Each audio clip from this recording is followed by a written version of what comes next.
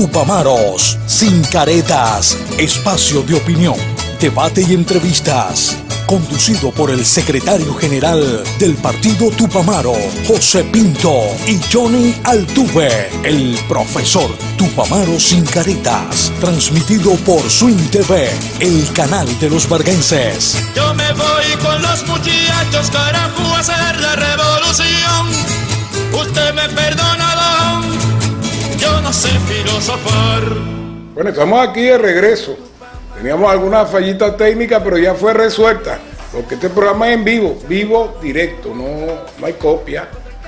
Entonces estamos diciendo que transmisión en vivo por aquí, por Swing TV, Canal 15, el canal de Vargas. También estamos en las redes sociales, Twitter, arroba Tupa Sin Careta, Facebook Tupamaro Sin Careta, Swing TV en todas las redes sociales. Bueno, ya saben, nuestro número de contacto 0412-370-6966, 0426-819-9697. Cualquier pregunta, cualquier intervención lo puede hacer pues a través de nuestro teléfono. Y hoy tenemos como invitados a el programa a Levi Rosell, Levi Rosell, independiente que va en las filas del MAS, ya no voy a explicar él cómo es ese rollo. Y César Alonso de la candidato, no sé si será candidato perdedor, pero no lo va a decir también. César Alonso de la porque es que se empata con quien no tiene que empatarse. Empatarse con el, el ciudadano este que llama, ¿cómo que se llama el que va ahí? Eh, eh, Guaidó matarse con Guaidó, que ya está rayado, porque Guaidó entonces, como es un rolo de vivo, quiere ir en la lista y quiere ir nominal. Entonces va a perder la lista y va a perder nominal también. Entonces, ¿por qué? Porque está haciendo trampa a los demás de la oposición, a los demás partidos de la oposición, a los de COPEI, a los de Democrática, a un nuevo tiempo, etcétera. Aunque un nuevo tiempo como que no le dieron nada aquí en Vargas tampoco, porque por ahí vi protestando mucho. Y allá está otro de la oposición, Longa. Resulta que hoy la oposición se puso de acuerdo y dice que van a votar por José Pinto, porque Guaidó no representa absolutamente nada. Bueno, está bien, esos votos de la oposición vendrán para acá. Vamos a ver si alguno de ellos lo conquisto en el día de hoy. A pesar, pues, de que siempre se está moviendo eh, la situación política del país, producto de que, bueno, ya ustedes saben y están bien claros y enterados de la posición que el imperio norteamericano tiene contra nuestro país, contra Venezuela, contra el gobierno venezolano, contra sus instituciones y, bueno, en favor de sectores que están bien identificados como sectores violentos, sectores golpistas, ¿ves? que son tan violentos que ya asesinaron pues a un estudiante, a un joven estudiante ya en la Universidad de Zulia, un muchacho pues que tenía todo un futuro por delante y esas bajas pasiones, esa espiral de violencia de estos sectores oposicionistas, por cierto que quien lo mató este, es candidato también en el circuito 8 por allá por, por el estado Zulia, no sé qué, cuál es ese circuito 8, pero pronto lo sabremos también. Bueno, fíjese, y, y entonces son candidatos son candidatos pero generadores de violencia, porque nosotros hemos dicho que aquí la oposición como que no quiere las elecciones, no está dispuesta a participar en un proceso electoral. Fíjense que ni siquiera campaña hacen, porque yo no veo en la calle a los sectores de la oposición haciendo campaña, no lo veo. Bueno, debe ser porque tienen rechazo de la gente y a lo mejor van por un barrio y la gente lo saca, puede ser eso también, entonces hay temor a ir a hablar con la gente porque la gente lo rechaza, entonces tendrán que recurrir a, lo mediático, a lo que siempre hacen, pues tratar de, buscar espacios en los medios de comunicación para de alguna u otra manera, bueno, hey, un candidato, así como Alonso, Alonso es candidato, pero quien está promoviendo a Alonso soy yo, porque la oposición misma no lo promociona, lo ocultan, lo esconden y eso no puede ser, pues aquí todos tienen derecho y tienen derecho a la participación y como lo dice la Constitución, participativa y protagónica. Nosotros queremos, y eso es factor importante para los revolucionarios, este, un modelo que incluya, no un modelo que excluya.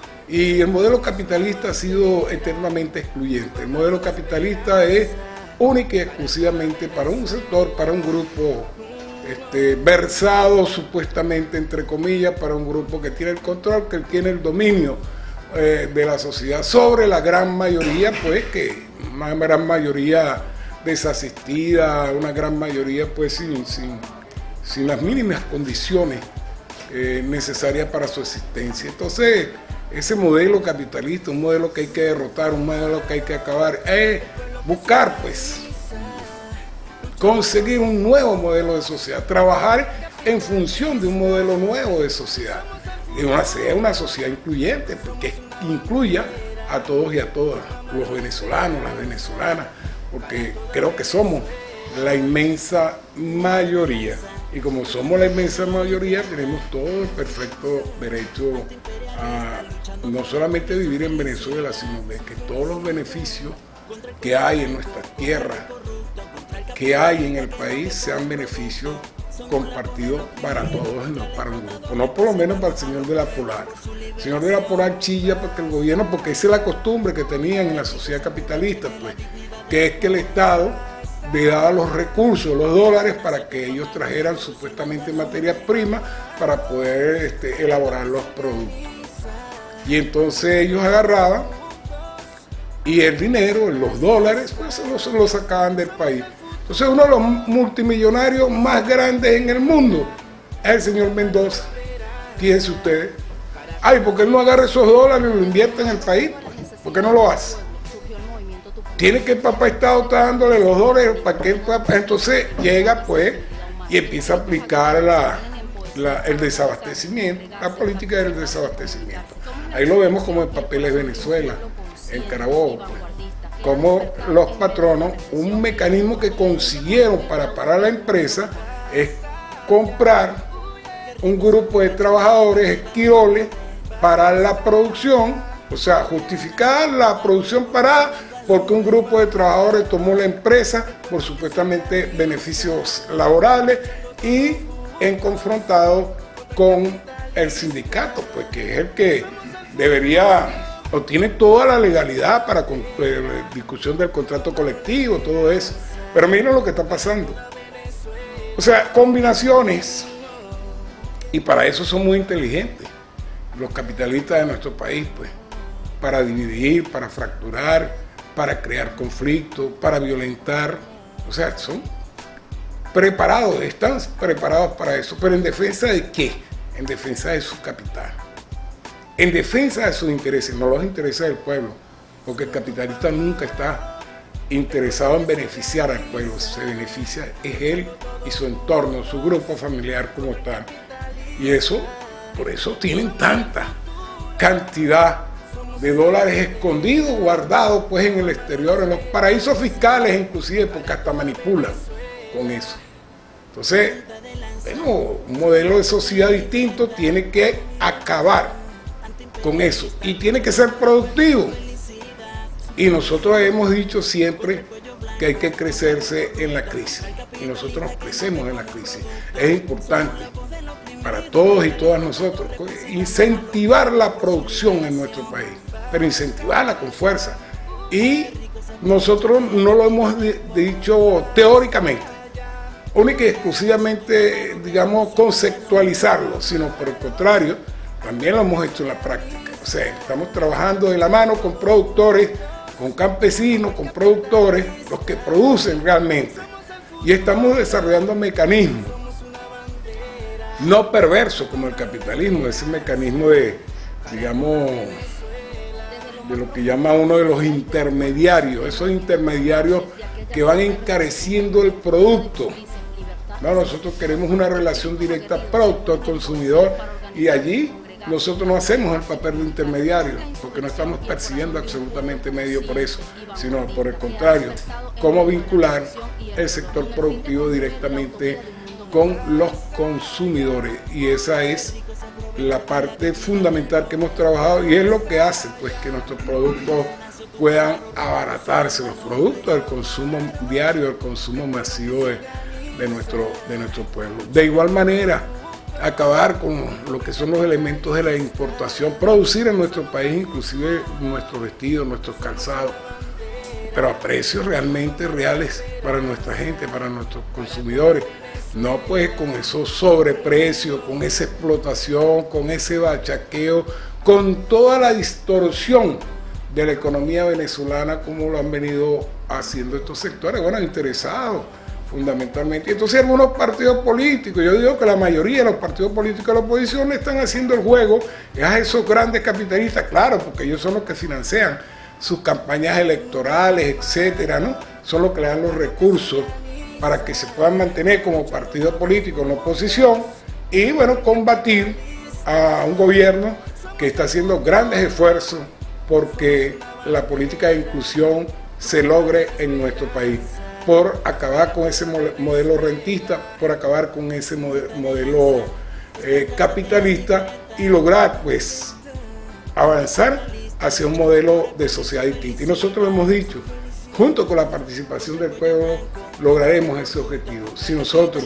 seguimos fortaleciendo los consejos comunales, las comunas y la construcción de ese Estado comunal como tal, nosotros podemos lograr avanzar al modelo de sociedad que queremos.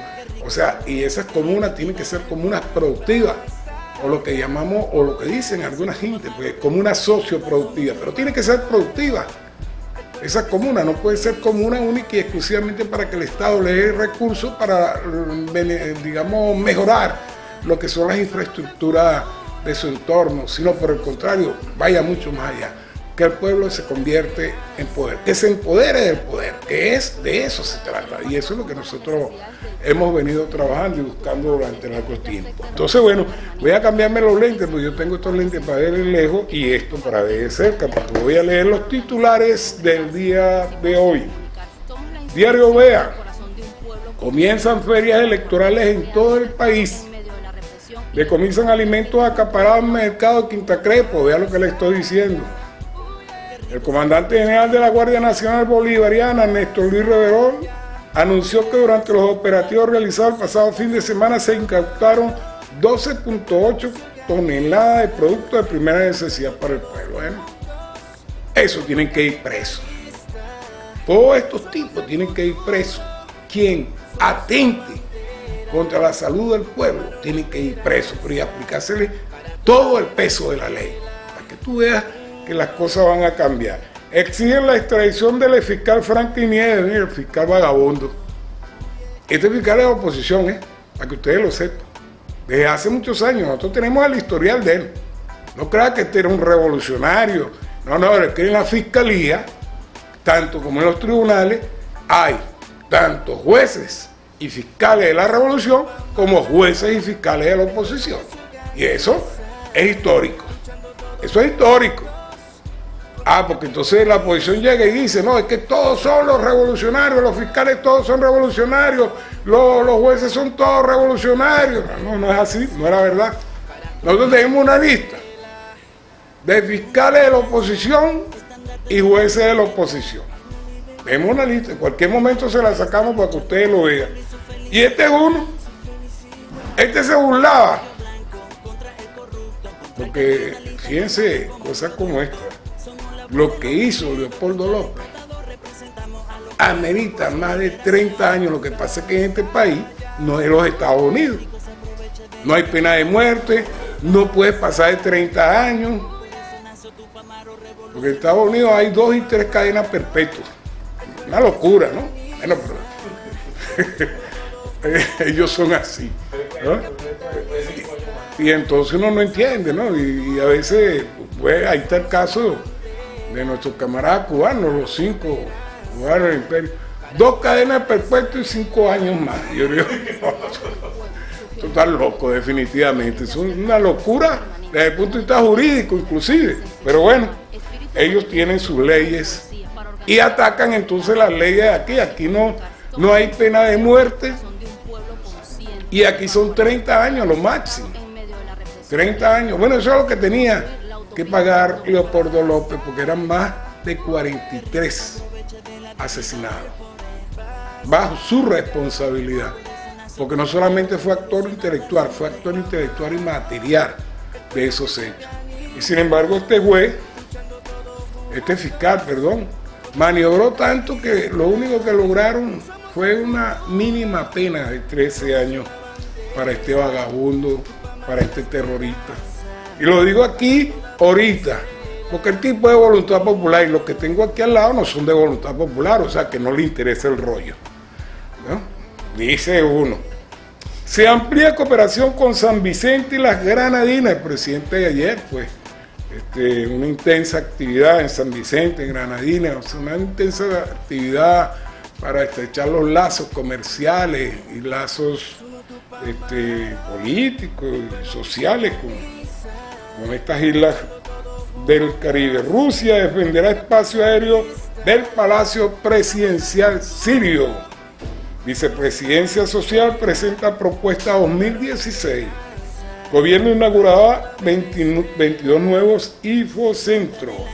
No dice el correo del Orinoco, Maduro creó la Corporación de Comercio Exterior del Oriente de Venezuela. Calculan que Cumaná necesita inversión de bolívares 78 mil millones. Hoy se realizará sesión plenaria del Consejo Federal de Gobierno. Hoy hay, Consejo Federal de Gobierno. Mosca Comuna, Consejos Comunales allá presentes. Dedicarán noviembre a la obra de Bello. Se inaugura 171 base de misiones. Nos dice el diario que dice la verdad. Rescatan en agua colombiana 20 cubanos procedentes de Venezuela. Sea, rescatan en agua colombiana a 20 cubanos procedentes de Venezuela, porque esto es una dictadura. ¿Sabes cómo es? Y en una dictadura no podemos vivir. Entonces, supuestamente, estos 20 cubanos fueron donde se vive la democracia. Colombia. Bueno, saquen ustedes sus propias conclusiones. Se hunden bloques de vista al mar en Arrecife, en peligro 110, 510 familias por fallas estructurales en bases, paredes y techos de los apartamentos porque fueron construidos sobre relleno. Eso no lo dice la verdad. Trancazo en vía interna del aeropuerto. Aduaneros matan tires para redondear sus ingresos. Trabajadores de PG siguen luchando después de 12 días. Alcaldía pone en marcha plan de emergencia para recoger la basura hipertenso a punto de infarto por falta de medicina, vecino amenaza de muerte vecina por santería. Vean ustedes, pues, este es el diario La Verdad. Ya ustedes saben que es un diario de oposición. Últimas noticias nos dice, bueno, pero políticamente la oposición, quiero decir que parece un partido político. Plan Ayaca para resolver diciembre. Los productores de Carayaca buscan bajar los precios. En 70 mercados de la entidad se venderán los rubros agrícolas. Ya está lista la primera siembra de maíz en la comuna Indio Tarma. Bueno, ya ustedes saben, era un poco lo que decíamos aquí y trajimos a varias comunas de allá de Carayaca dentro de ese plan de, digamos, de que esa producción que está allí mismo en Carayaca sea bajada, que en vez de enviarla a coche, que nos las envíen aquí a través de los consejos comunales de las comunas para poder abastecer aquí el Estado Vargas, porque necesitamos abastecer el Estado Vargas. CNE inició jornada de información, Maduro llamó a cuidar la unidad latinoamericana. Fueron habilitados 4.200 policías comunales en el país, bajo índice de homicidio durante octubre.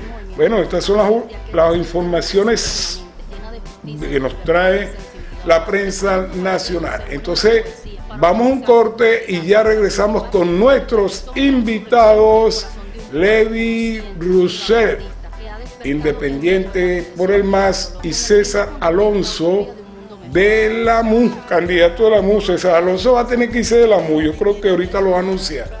Bueno, vamos a un corte ya regresamos.